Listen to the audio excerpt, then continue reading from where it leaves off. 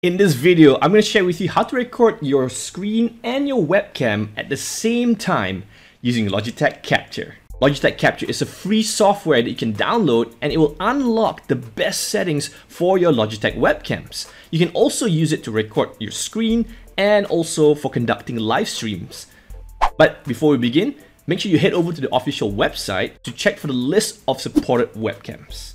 Okay, to get started, once you have Logitech Capture installed, make sure you add the sources. So head over to this icon right here and it's source number one. Select this drop down and select the webcam that you have attached. Now, as you can see, the image is coming through. The next thing you want to do is head over to number two, and this is your second source. And what you're going to do is click the drop down again, and this time you're going to select a display. I would take my second monitor for this demonstration and there it is right there. Now, just to note, there are some settings that you can tweak to improve and further enhance the look of your webcam. I don't have time to go through all the settings in this video, but you can check out this other video I made right here, and also the link will be in the description below. So we hooked up both our sources, which is our webcam and our screen. Now what we gotta do is arrange them accordingly. So to do this, at the bottom of Logitech Capture, there's a bunch of circles with numbers on it. Check this one, which is 1 and 2. The numbers represent sources, so 1 is source number 1, and 2 is source number 2. And because I have two sources, it's now appearing on the screen right now, and this is what is going to be recorded. The other thing you can do is click on your webcam and you can reposition it and also you can resize it accordingly, which is pretty handy. Okay, now that you're happy with the positioning of your webcam, you can now start recording. Just click this button right here. In my case, I set a countdown timer.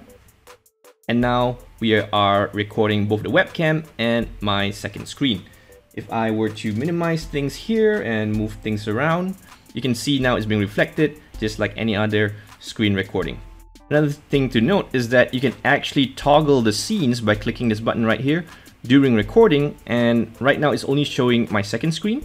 If I press just one, it's just showing the webcam and it's still recording and it will record the different transitions that happen whether you're showing just one screen or both the screen and the webcam. Hey, but before we go any further, if you found value in this video so far, can you hit the like button for me? It'll help this channel out. But hey, that's not all. There are other settings that you can adjust before you hit record. So head over to the one icon here and click on scene effects. There'll be a bunch of other settings that you can adjust. The one that we are interested is a border setting. So let's say we select source one and then we select this purple color right here and then we increase the size of the pixels and you can see there's a border being created around my webcam. So you can use this based on whatever branding color that you want to use and it can separate the webcam footage from the screen recording itself, which is pretty handy. The next thing you can do is also change the transition style. So let's say we use this fade to black here. So whenever I switch to a different screen source, as you can see, there is a transition that fades to black. There you go. So you can also have different styles. Let's say I select this one right here.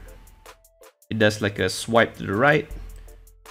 This one would probably swipe to the bottom or top. And you can play around and see which one fits well with your presentation style. Watch this next for more tips on how to record using your webcam and Logitech Capture. Thank you for watching, do give me a thumbs up and hit subscribe so you stay notified when I upload the next video. I'll see you next time. Bye bye.